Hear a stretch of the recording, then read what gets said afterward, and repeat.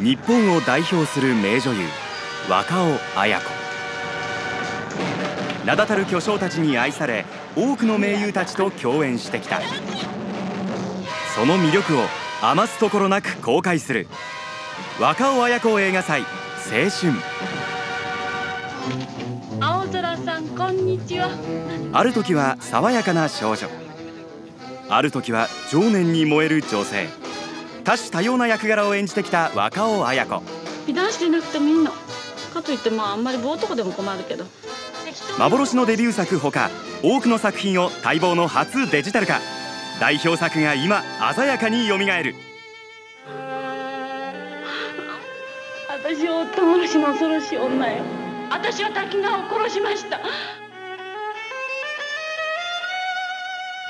運命に生きる女の内なる情熱を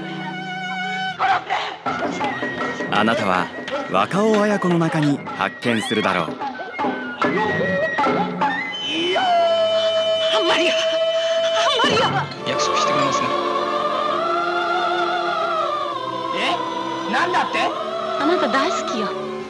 聞こえないよ。今なお輝き続ける女優若尾綾子。最高の出会いは一度きりではない。